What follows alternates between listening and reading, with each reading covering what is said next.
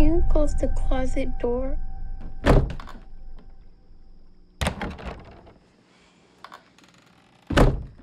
Hey, stop! I, uh, why?